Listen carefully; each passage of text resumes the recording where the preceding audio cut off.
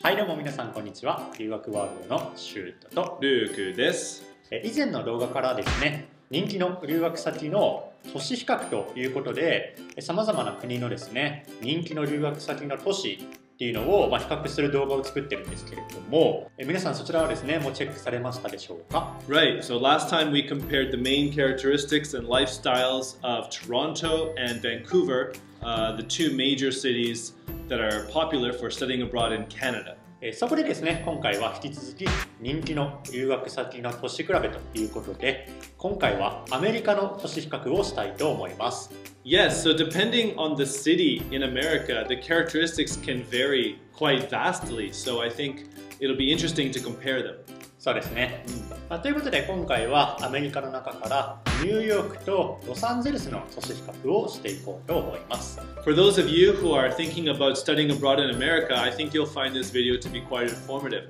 Also, for more detailed information about study abroad in America, please check out the link below and you can get a lot of other useful information there. そうですねぜひよろしくお願いしますそれでは早速やっていきましょうではまず今回比較するニューヨークとロサンゼルスというのがアメリカのどの場所に位置しているのかというのを見ていきましょう。For those of you who are familiar with the geography of America, New York is located on the east coast of America, and Los Angeles is located on the west coast. They're approximately six hours apart if you were to travel by plane. So, we're going to introduce the major lifestyle differences as it relates to living in these two cities while studying abroad. ニューヨークからロサンゼルスまではもうかなり距離がありますね同じ国でありながら時差も3時間 もありますそれではそれぞれの都市の生活スタイルについて比べていきましょう So, starting with introducing New York City, New York is the hub of finance, education, fashion, musicals, and many, many other scenes. Uh, it is a place where many people go to fulfill their dreams. And so, taken together, this makes for a very exciting and attractive city to live and to travel to. いやそうですねニューヨークほど刺激的な街もなかなかないですからねちなみにニューヨークのライフスタイルというのはどんな感じですか So, starting with the climate,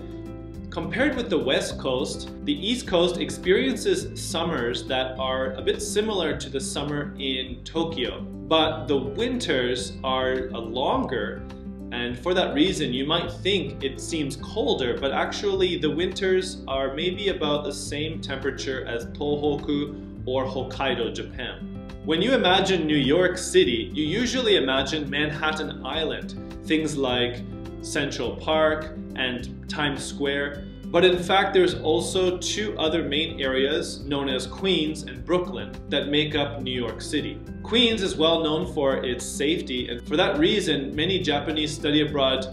students decide to live in Queens. Brooklyn, on the other hand, is more well known for its art and creative scenes. Generally, the main means of transportation in New York is the subway or the train. So don't worry if you don't have a driver's license or don't know how to drive. Uh, you can completely live conveniently in New York uh, using public transportation. The cost of living and rent in New York is among the highest in the world. And for that reason, a lot of international students who study in New York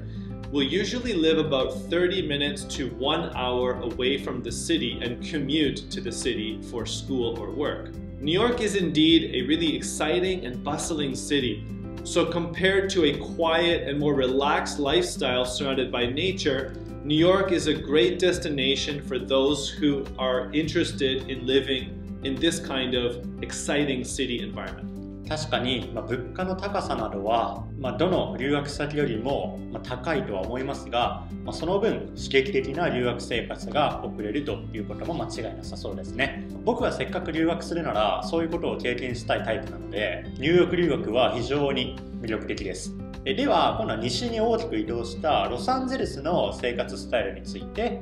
比べていきましょう As for Los Angeles, it is located on the west coast of United States and is the second largest city in America. In terms of the climate of Los Angeles, you can expect warm, sunny days with very little rain all year round. In terms of accommodation, uh, New York is a little bit similar to Tokyo in that most people will live in an apartment or shared apartment, whereas in Los Angeles, because there is a lot more space, people tend to live in a shared house. So taken together, Los Angeles is a bit more of a comfortable place to live. As many people may already know, Los Angeles leads the world in things like music, acting, dance, and the entertainment world in general. And it's also well known for being the place where many famous actors live. Depending on the area of Los Angeles, the atmosphere can change quite dramatically and the downtown area is said to be not particularly safe.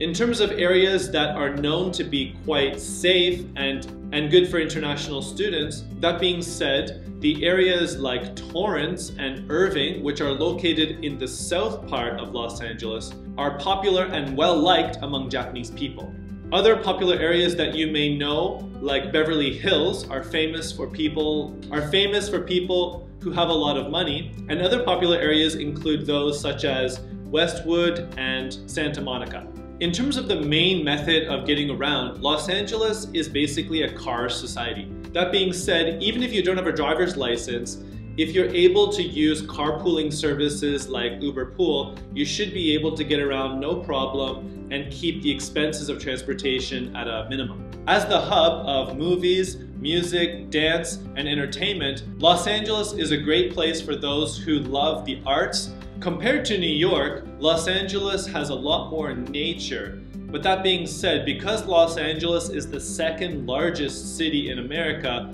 if you compare the living expenses and rent costs, they don't really vary that much. まあロサンゼルスはビーチもあったりして、まあ自然に触れ合うのが好きな人には最高でしょうねえちなみにニューヨークにもロサンゼルスにも日本からの直行便というのは就航してるんですか So both New York and Los Angeles have direct flights coming out of Japan. To go to New York will take about 13 hours, whereas Los Angeles is about a 9 hour flight. In terms of the number of flights, Los Angeles has many more flights coming out of Japan. But it's good to know that you can access both cities without having to connect to any other flights. まあではアクセスの不便さによって、まあ、留学先選びに影響が出てくるというようなことはなさそうですね、まあ、やはり直行で行けるのはまあ楽ですからねえこれで最後になりますがえ 2つの都市の治安についてそれぞれどんな感じですか Both New York and Los Angeles are places where the world gathers. So, because you have a lot of people like tourists and like yourself, those who are unfamiliar with the area, there are pickpockets and people there that will want to take advantage of others. For this reason, compared to when you're in Japan, we recommend to be aware of your surroundings and take caution, especially when you're in areas like bars, pubs, cafes, tourist spots, or any other areas that have a lot of people. Again, we recommend to be aware of your surroundings and take caution. えーまあ、そうですね。 アメリカにかかわらず、日本に比べて海外などでは、まあ、スリなどの軽犯罪が起こりやすいですので、注意をするというのは必要になります。またですね、ニューヨークにもロサンゼルスにも、まあ、あまり近づかない方がいいエリアとかっていうのもあると思いますので、学校の先生とかからそういう情報っていうのを、まあ、きちんと自分で入手をして、そういうエリアには自分で近づかないようにするなど対策をする必要もあります。海外生活中は特に自分の身は自分で守るということを日頃以上にですね、強く意識をしておいた方がいいと思います。Okay, so we've just compared the two most popular study abroad destinations in America. I hope you enjoyed that. そうですね。えー留学ワールドでは、まあ、アメリカへの語学留学以外にも、まあ、大学留学などさまざ、まな留学プランのお手伝いをさせていただいております。えーもしですね、アメリカ留学に興味を持った方は、ぜひお問い合わせください。それでは次の動画でお会いしましょう。バイバイ。